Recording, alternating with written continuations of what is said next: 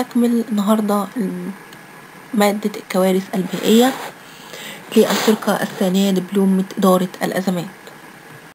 إدارة إدارة الكوارث الطبيعية. أول خطوة عندي هي الشروع في إدارة الكارثة. إن العملية الطبيعية لإدارة الكارثة عادة ما تبدأ بعد حصول كارثة كبيرة زي حروب زلازل فيضانات فيضانات أعاصير. وهذه الكارثة تعمل كمحفز لاتخاذ إجراءات احتياطية. وتتضمن واحد سن قوانين وسياسات إن سن القوانين والسياسات عادة ما تكون من تخصص الحكومة في أي دولة من الدول ويتم تحديد المسؤوليات المختلفة للمعينين بإدارة الكوارث والسلطات المختلفة.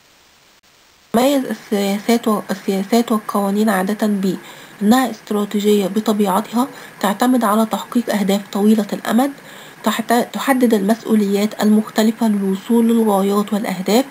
يمكن أن يوصي بممارسة معينة أو محددة. يمكن أن تحدد معايير محددة لاتخاذ القرارات.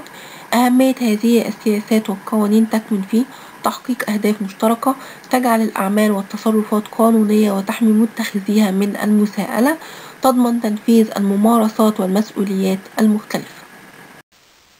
ومن غير هذه القوانين والسياسات يكون هناك ضعف في التنفيذ والتنسيق وتضارب في التوجيهات وضعف في النتائج بل أحيانا نتائج سلبية. عند وضع السياسات والقوانين يجب الأخذ في بعين الاعتبار حقوق الشخصية للأفراد ثقافات المجتمعات والعادات والتقاليد طبيعة المخاطر قوانين أخرى موجودة لها علاقة بالأمر مبادئ إدارة الكوارث المجالات المطلوبة وضع القوانين والسياسات لها في مجال إدارة الأزمات هي واحد أهداف إدارة الكوارث علاقتها بالتنمية المستدامة مسؤولية وصلاحيات المنظمات والمؤسسات المختلفة الهيكل التنظيمي الموارد الاقتصادية والتكاليف المالية العلاقة مع المنظمات غير الحكومية وكذلك المنظمات الدولية والعلاقة مع الدول المجتمعات الأخرى. النقطة الثانية هي تعريف المهمة عند بوضع خطة الطوارئ. يجب تحديد المهمة وتحديد الأهداف ومجالات خطة الطوارئ كما يمكن الاستفادة من الاحتمالات والتوصيات السابقة في وضع أهداف الخطة الاستراتيجية. ثالث خطوة عندي هي تشكيل فريق العمل.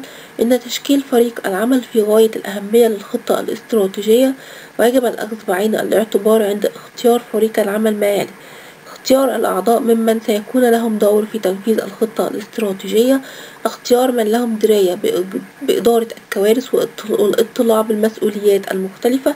يجب أن يكونوا من ذوي المراكز وأصحاب القرار ويمكنهم أن يقوموا بتطبيق الخطة على منظماتهم.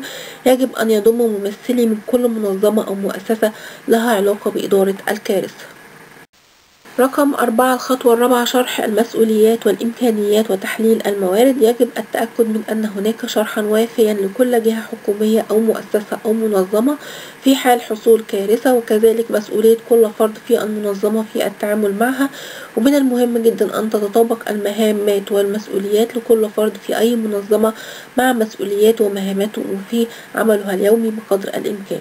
وعند التحدث عن المسؤوليات من المهم أن يتم تحديد وتحليل إمكانيات المؤسسة المعينة ويتم ذلك بالنظر في الأمور التالية واحد حصر الموارد المختلفة والمقصود بالموارد هنا أي شيء ذات قيمة في عملية الكوارث وهذا يشمل الطاقم البشري والتدريب والأجهزة والإمكانيات والموارد الاقتصادية.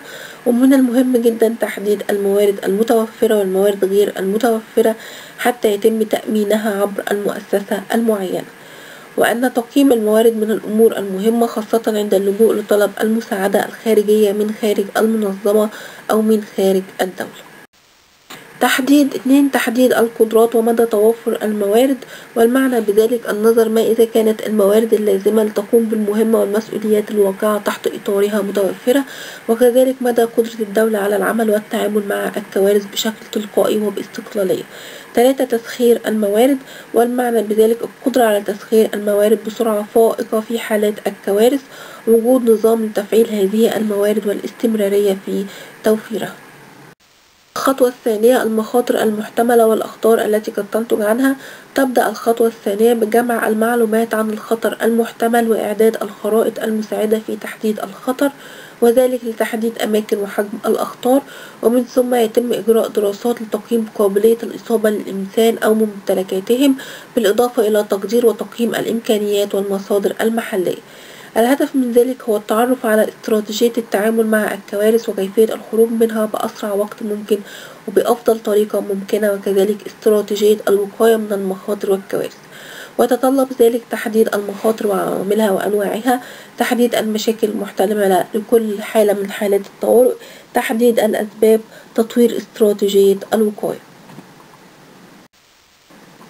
الخطوة الثالثة هو تحديد مستويات الأخطار التي يمكن تقبلها واحتمالها إن المعلومات المتوفرة التي يتم تجميعها في المرحلة الثانية يجب أن تعرض على صانعي القرار بشكل مناسب وذلك لتمكينهم من اتخاذ إجراءات تنفيذية مناسبة وفق أولويات وطنية ومراحل تنفيذ واضحة. الخطوة الرابعة خطط الجاهزية وتشمل هذه الخطوة على خطط يجب تنفيذها على المدى القريب مثل تحضير المسؤولين على مختلف المستويات للتعامل مع الكوارث زي تشكيل لجان حملات توعية تدريب وغيرها وأخرى على المدى البعيد مثلا في حالة الزلازل كاعتماد المواصفات الزلزالية وضع سياسة لاستخدامات الأراضي وتأهيل المباني القائمة. الخطوة الخامسة فحص الخطة. لفحص الخطة والتأكد من الجاهزية لابد من إجراء مناورات أو سيناريوهات وهمية لكوارث محتملة وذلك لحماية الخطة من اللامبالاة والتدخلات السياسية التي يمكن أن تظهر في فترات الهدوء بين الكوارث.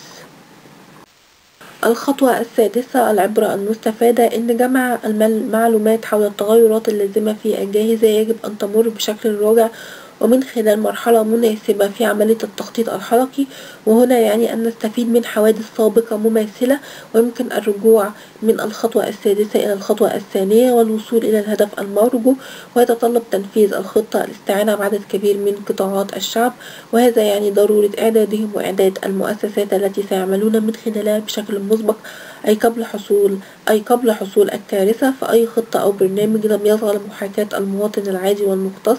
والمسؤول سيؤدي إلى فشل كلي أو جزئي في تنفيذ الخطط